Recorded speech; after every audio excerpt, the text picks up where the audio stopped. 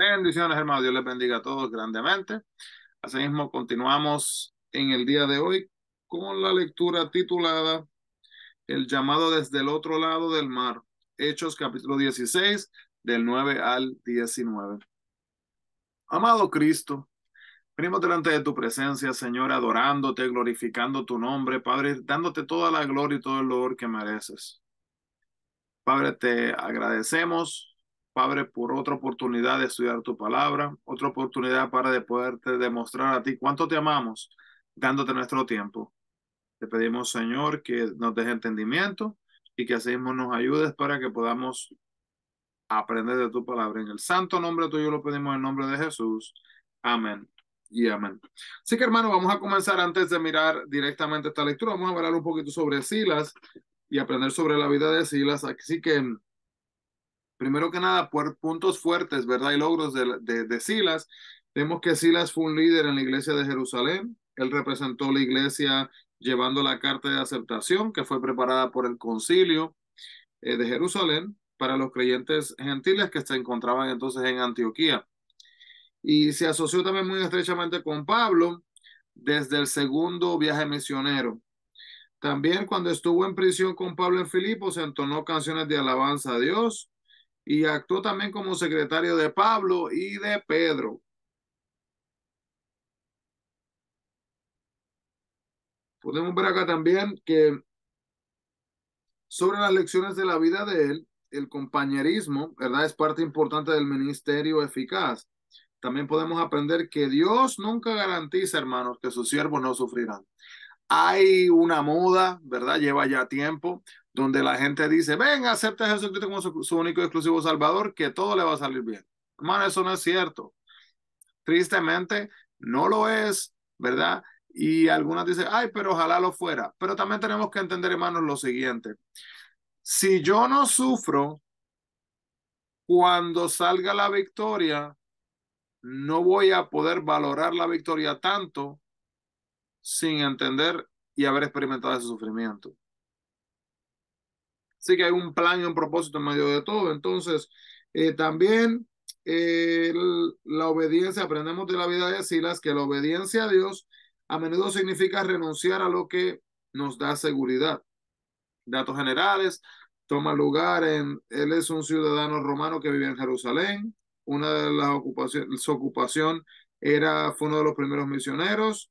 Contemporáneos de él lo fueron Pablo, Timoteo, Pedro, Marcos y Bernabé de igual manera. Así que vamos a mismo a ver directamente aquí desde el capítulo 16 de nuevo en adelante. Vemos que en el versículo 10 del capítulo 16, cuando dice, cuando la visión enseguida, cuando vio la visión enseguida procuramos partir para Macedonia, dando por cierto que Dios nos llamaba para que le anunciásemos el Evangelio. Entonces, cuando se usa el pronombre ahí que indica que Lucas, ¿verdad? El escritor del Evangelio, eh, es, fue el que escribió, unió a Pablo y a Silas y a Timoteo en su viaje. Él fue un testigo ocular de la mayoría de los incidentes narrados en este libro. Así que hay cuatro evangelios, hermanos, Mateo, Marcos, Lucas y Juan, pero no todos los cuatro, estos, los cuatro escritores, los cuatro autores no fueron todos oculares. ¿Verdad? Ocular significa que vieron ellos físicamente lo que estaba pasando y luego contaron entonces lo que estaban con, fue más como un reporte. Eh, Filipo fue una de estas ciudades eh, clave en la región de Macedonia. Hoy día es conocido lo que es en el norte, la parte de Grecia. Y Pablo fundó la iglesia durante su visita. Eh, más tarde se escribe una carta a la iglesia y el libro de Filipenses eh, quizás eh, desde una prisión en Roma en el 61 después de Cristo, puede ser. La carta fue personal y cariñosa, hermanos, mostrando su profundo amor y amistad por los creyentes de allí. Entonces, en su, carta, en su carta, él les agradeció el regalo que le enviaron, anunciándoles una próxima visita de Timoteo y Epafrodito, instándoles a superar cualquier desunión y animando a los creyentes a no ceder en medio de la persecución, ¿verdad? Que le den a Dios el lugar que se merece y que no se dejen, no se vayan a someter o a humillar, ¿verdad? Las dificultades de la sociedad. Y el arco exterior de la ciudad se, se, se hallaba una prohibición, una prohibición en contra de traer una religión desconocida. Entonces, de ahí es que esta reunión de oración se llevaba a cabo afuera de la ciudad, al lado del otro río, porque si se hacía dentro, pues ya sería considerado que se estaban quebrantando las leyes, los reglamentos. Entonces, después de seguir la dirección del Espíritu Santo hacia Macedonia, Pablo tuvo su primer acercamiento con un pequeño grupo de mujeres. Pablo nunca permitió que ataduras de género ni cultura le impidieran predicar el Evangelio. Predicó a esas mujeres y una comerciante influyente llamada Lidia creyó. Y esto abrió las puertas para el ministerio en esa región. Y en la iglesia primitiva, hermanos, Dios a menudo sobró en las mujeres y a través de ellas también. Hay personas que dicen que las mujeres no tienen una función y no deben de tener parte ni tomar liderazgo dentro de las iglesias. Pero vemos aquí un ejemplo, hermanos. Vemos acá la hermana Lidia, por ejemplo. Así que se ven a través de la Biblia completa. Lidia era una vendedora de púrpura, de manera que quizás tenía recursos económicos, la vestimenta de púrpura era, era valiosa eh, y costosa, ya que casi siempre se utilizaba para mostrar lo que era la realeza, ¿verdad? La nobleza. Eh, Lucas destaca las historias de tres individuos que se convirtieron a través del ministerio de Pablo en Filipo. Eh, Lidia, la comerciante influyente, la muchacha esclavizada por posesión de diamónica, que está en el capítulo 16, del 16 al 18, y el carcelero también, 16 del 27 al 30. Y el Evangelio entonces impactó a todos los estratos sociales, como lo hace también en el día hoy. Entonces, ¿por qué la familia de Lidia, se bautizó luego que ella respondiera al Evangelio? Ya que, hermano, el, bautismo era considerado una expresión de identificación con Cristo y su comunidad. Y a pesar de que quizás no todos los miembros de la familia decidieran seguir a Cristo, no lo sabemos, ¿verdad?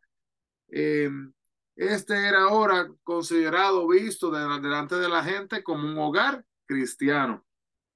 Entonces el espíritu de adivinación de esta muchacha provenía de malos espíritus. La adivinación era una práctica común en Grecia y en la cultura rumana. Y había muchos métodos supersticiosos por los cuales personas pensaban que podían anticipar hechos futuros, interpretarlo, interpretando pronósticos al grado de establecer comunicación con los espíritus de la muerte. Creían muchas personas que podían hacer esto. Esto es algo, hermano, que se cree hasta el día de hoy. Pero entendemos que bíblicamente esto no es cierto. Esto no es, estamos hablando que eso es un juego por falta de palabras con demonios, hermanos, no con las personas que fallecieron. Esta joven poseída tuvo un espíritu demoníaco que le enriqueció dándole la facultad de interpretar señales y decirle a la gente su suerte. Y su jefe explotó la condición desafortunada para beneficio personal. Entonces, lo que, lo que se le dijo a esta joven, ¿verdad? Poseída en cierto, era cierto, a pesar de que la fuente de la sabiduría era un demonio. Tenemos que entender, hermano, que si Pablo hubiera aceptado las palabras del demonio, hubiera dado a entender que el evangelio y sus actividades estaban ligadas al demonio. Y esto lo que hubiera, lo que hubiera hecho habría sido dañado el mensaje acerca de Jesucristo, ya que la verdad de Cristo y el demonio, hermanos, no se mezclan para nada, ¿verdad? Estamos hablando de la luz y las tinieblas y no hay unión entre luz y las tinieblas. Así que tomemos decisiones, hermanos, de darle la, la, esencia, ¿verdad? Espiritual de lo mejor que nosotros somos a Dios diariamente, entendiendo que toda acción, toda palabra, todo pensamiento y la manera que vivamos nuestras vidas, hermanos, es lo más importante para Dios. Cuando mostramos la fe en acción. Señor, te agradecemos, Padre, porque diariamente nos das la oportunidad, Padre, de poner nuestra fe en acción, de ejercitar nuestra fe para la gloria y honra tuya. Te pedimos, Señor, que nos ayudes, Padre, a no pasar por, por alto Señor, lo, lo, grande que fue tu sacrificio por cada uno de nosotros para que pudiéramos obtener así mismo el perdón. Háblanos, Señor, diariamente en nuestras vidas y ayúdanos, Padre, a que no nunca nos desconectemos de tu palabra y que nunca nos desconectemos de ti. En el nombre de Jesús pedimos estas cosas, mi Cristo. Amén y amén. Dios le bendiga grandemente, hermanos. Bendiciones a todos y no se olviden, busquemos la presencia del Señor. Dios les bendiga.